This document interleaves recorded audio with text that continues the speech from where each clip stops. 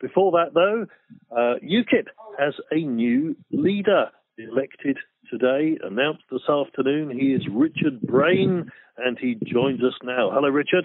Hello, Clive. Thank you very much for having me on. Well, well done on your win. Thank you very uh, much. Quite a substantial margin. Why do you think that was? Why have you won? Uh, well, I think there's, there's several reasons, but it was a, a very uh, good contest, and the other candidates were excellent, and uh, I get on with them well. And uh, UKIP is actually one of the most united parties because we all agree so thoroughly about uh, Brexit and finally actually getting out of the European Union. Are you that united? Uh, why isn't Gerard Batten carrying on as leader then? well, as you may know, he was he was stopped from standing by the NEC, which is an elected body in the party, and they have the power to do that. Well, that's not very united, is it? Uh, well, I don't know about that. They they had various well, reasons. for the last leader from becoming leader again. Well, they, they had various reasons for making that decision. what were they? Uh, well, they've they've actually given several reasons, um, but um, Gerard, don't forget, said that he would uh, he would uh, become interim leader of the party for a year, and he did a great job. He took the membership from uh, 18,000 up to um, about nearly very nearly 30,000, uh, and he's very popular. He was very popular uh, leader, but um, the NEC decided well, that enough to carry on. Uh, well, he's 66, so um, I think that he's you know he's put 27 years into the he, party. He didn't want to retire there. he did actually. Really?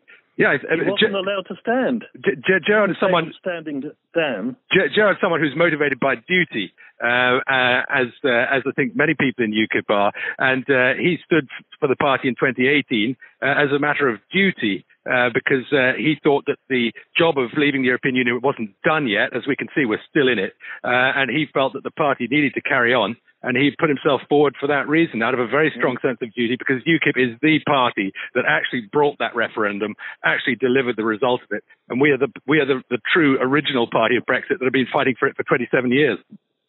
Uh, but clearly, people were worried about the direction in which Gerard Batten was taking the party more to the to the far right, with uh, involving Tommy Robinson and so on. Uh, is that a direction you're going to follow? Uh, well, I don't think that uh, Tommy Robin- Robinson is involved. He can't join the party because of the party's rules. He's never been a member of the party. So um, I don't think that's that's really a big issue. You know, we, we, in the party want to concentrate on the important questions, and you know, Brexit is one of them, immigration is another. But we've got a fantastic manifesto, and I advise people to go and read it. Find it at ukip.org and go and read the manifesto because I think a lot of people listen to the press saying that we're far right, but if they read the manifesto, they'll realise that that's a load of absolute nonsense. Uh, where is the party realistically standing now? I mean, we've had a recent by-election, and you were beaten by the uh, monster raving loony party.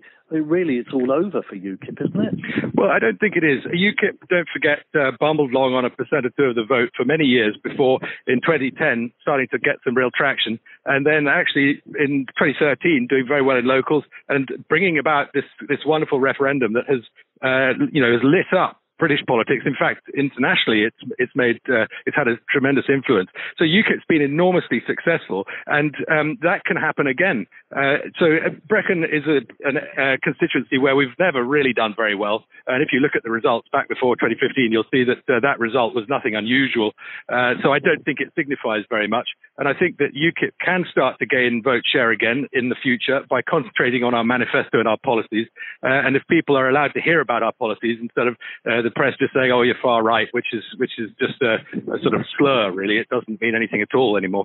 Um, so I think if people are allowed I think people will start voting for us again. Um, and especially if Brexit isn't delivered, people will. But also, don't forget that if Brexit is delivered, the Brexit Party will, in some ways, become obsolete.